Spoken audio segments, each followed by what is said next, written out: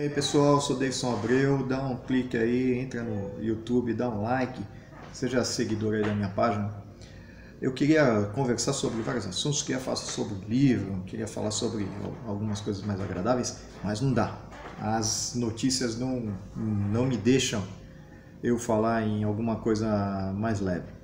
No estúdio I da Globo News, a âncora lá, a repórter, a Maria Beltrão, entrevistou o novo governador do Rio de Janeiro, na qual ele já falou que vai utilizar snipers nas operações e, inclusive, estando lá os criminosos empunhando fuzis, eles terão autorização para o abate.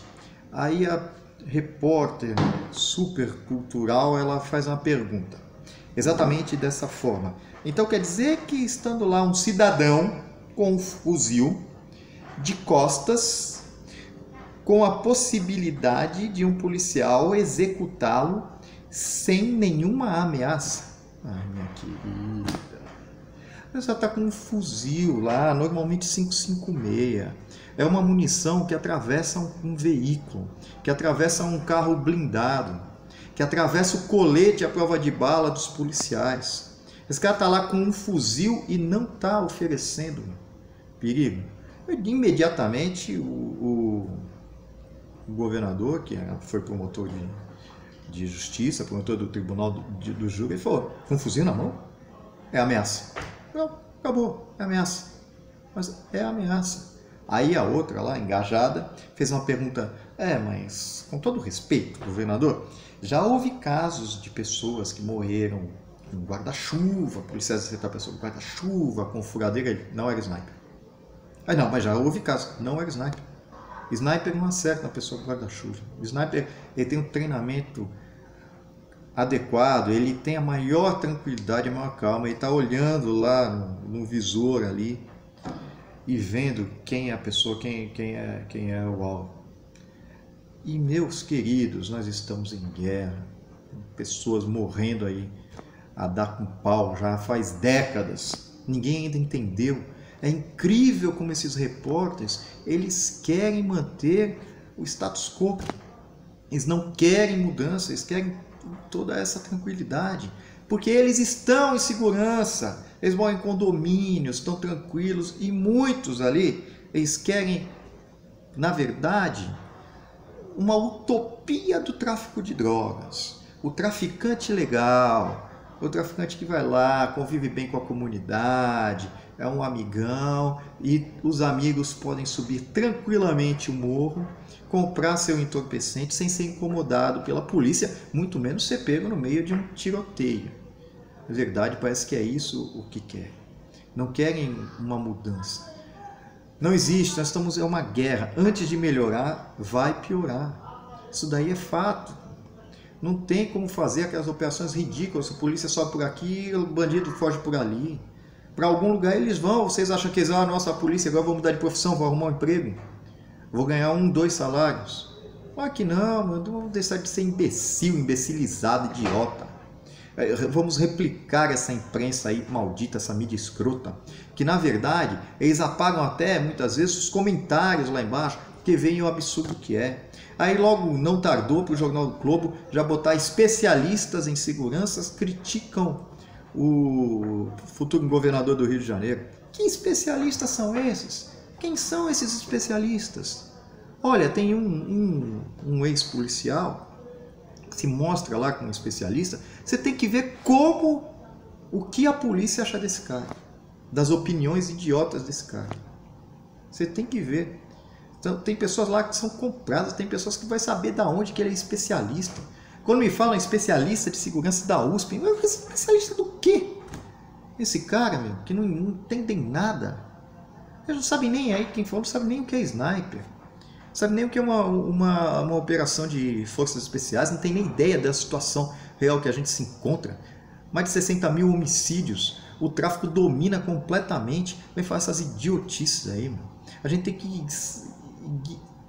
execrar esse pessoal. Esse pessoal não está nem aí com o país.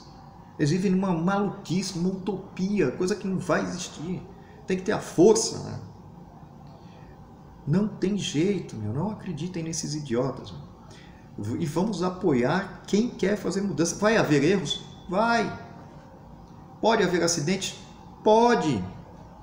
Mas quem está lá sabe do que está fazendo. Sabe o que está fazendo, vai tentar minimizar isso daí, pessoal. Lógico que tem que ser, todo exagero tem que ser coibido, tem que ser fiscalizado. Mas eles têm que poder trabalhar. E outra coisa, não é só a legítima defesa que ampara lá o policial, também tem o estrito cumprimento do dever legal, ou como bem ele informou, isso daí é tribunal do júri. O júri responde a culpado ou a inocente, ponto. Lógico que tem que fazer um, um, uma, prévia com os juízes, promotores, Ministério Público e indicar um caminho para dar segurança, dar respaldo ao policial ou ao militar das Forças Armadas que estiver nessa, nesse tipo de, de, de operação. Mas é necessário, o Estado tem que tomar de volta o que é seu. Aquilo ali é um Estado paralelo, meu, onde o traficante ele pro, promove tudo também e aquele povo ali é refém. Nós não temos que culpar aquele cidadão honesto que mora ali e acaba simpatizando com o tráfico. Não temos como culpar, sabe por quê? Porque o Estado, ele não provém nada, só provém a força também, só provém a polícia. Ele não provém saúde, não provém lazer, não provém nada. Quem provém tudo isso é o traficante, inclusive justiça. Porque a justiça que o traficante promove lá, ela é ágil, ela é rápida, ele vai lá e executa. E o cara não fica na mão, ele não fica com medo de acusar, lá chegar pro traficante, ó, oh, aquele cara ali, ó, ele me roubou. Porque ele sabe que aquele cara lá não vai mais roubar ele. Agora, se chamar a polícia, a polícia vai ficar lá na porta dele, vai falar, vai lá, o cara nem, nem cadeia dá para ninguém. O traficante dá o jeito dele. Onde o tráfico é bom, não tem roubo, não tem estupro. Porque é a força. Essa força tem que ser do Estado. Agora a gente tá esse pessoal aí está aceitando, eles aceitam a força do traficante, mas não aceitam a força do Estado. O traficante dá lazer, faz um show de funk, faz um show de pagode, é amigo do pagodeiro, é amigo do jogador de futebol, que é outra máfia desgraçada aí que o Estado tem que parar de ficar financiando o futebol. Tem que ficar parar de ter polícia em estádio de futebol. Aí isso daí não gera nada, só, a gente só vê violência, isso daí e lucro, lucro absurdo. Não para com isso, né? Esse é o momento da gente mudar essa situação. Mas se você for contra todo mundo, nunca vai mudar, meu.